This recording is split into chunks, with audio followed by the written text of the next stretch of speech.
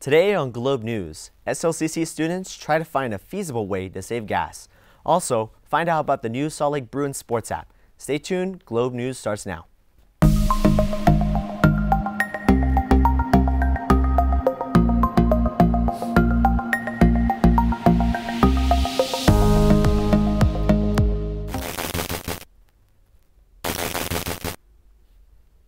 Welcome to Globe News. I'm Nathan Olmedo.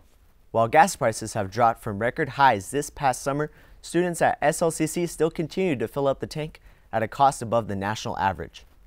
The U.S. Bureau of Labor Statistics states gas prices have gone up 25% from last year's Utah average price. Data recorded from AAA also states the highest recorded average price in Utah for a gallon of regular unleaded gas is $5.26. As gas prices are still high, students find solutions to save money. As part of being enrolled at the college, students have the opportunity to use a One Card to save money on transportation. The One Card offers free public transportation on UTA, such as buses and the TRAX light rail. SLCC athletics are now just a touch away with the new Salt Lake Bruins app.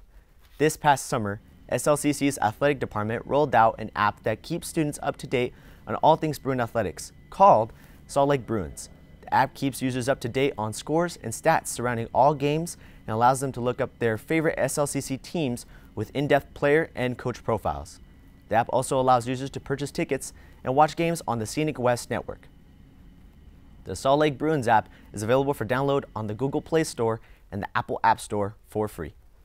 Let's take a look at the SLCC calendar to see what's happening on campus. SLCC will hold a workshop about career exploration this will be presented by Jenny Abbott, Assistant Vice President in Training and Education on Friday, November 18th from 6 p.m. to 7.30 p.m. In this virtual workshop, you will learn how to pursue a high-demand career that matches your skills, interests, and salary expectations. If you are a big fan of soccer, World Cup Qatar 2022 is here at SLCC. Two matches will be shown live in the Student Event Center at the Taylorsville Redwood campus on Monday, November 29th with Iran facing off against the U.S., and November 30th with Saudi Arabia versus Mexico. Prizes will be given to students for predicting the four semifinalists. SLCC's South City campus is home to the Tim and Brenda Huval Child Care Center. The center provides student parents with high quality comprehensive child care for kids aged 6 weeks to 12 years old. To get to go to college and not have to worry about childcare is an enormous um, alleviation of responsibilities for them. They can bring their kids to do homework, bring their kids if they need to do uh, study for finals. So it's really a huge program and a huge benefit we have right now. SLCC offers childcare at the South City Jordan and Taylorsville Redwood campuses. The Tim and Brenda Huval Child Care Center is open from 6:45 a.m. to 10 p.m. Monday through Thursdays and 6:45 a.m. to 5:30 p.m. on Fridays. The center offers campus grant money and voucher assistance to eligible students to provide heavily discounted rates for childcare, and most eligible students pay nothing.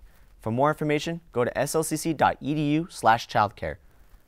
That's it for this episode of Globe News. To watch this episode and past episodes of Globe News, go to youtube.com slash slccsmc or find us on Facebook, Twitter, and Instagram at slcc.smc. I'm Nathan Olmedo. Thanks for watching Globe News.